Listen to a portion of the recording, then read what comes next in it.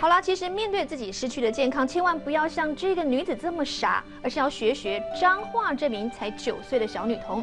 她已经罹患了卵巢癌第三期了，小小年纪就要接受手术、割除跟化疗，但是呢，她从来不含苦，非常坚强的来面对病魔。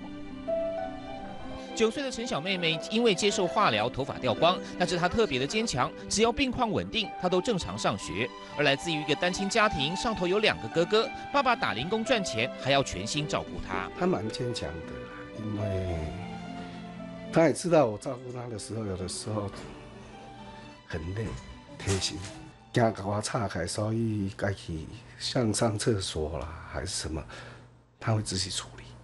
小妹妹知道自己罹患了卵巢癌，也知道父亲的辛苦。即使再怎么不喜欢上医院，但是为了她爱的家人，从来不表现出害怕。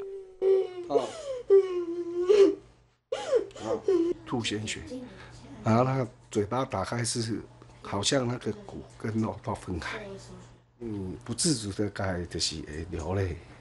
两个哥哥对妹妹也是百般的保护，全家人因为她的病凝结在一起。而因为庞大的医药费实在无力负担，现在乡公所和学校都已经展开救助计划，希望能够帮助她对抗病魔。